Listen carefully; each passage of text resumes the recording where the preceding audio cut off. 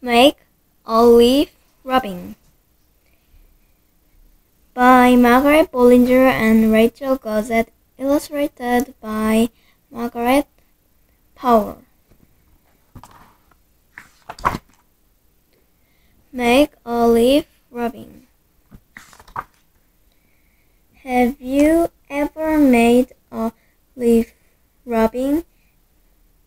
Here is how to do it. You will need leaves, paper, crayons.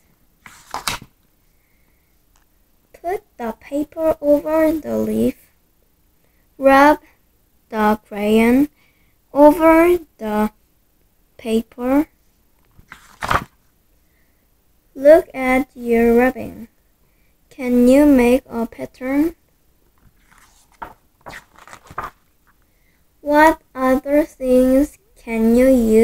To make a rubbing?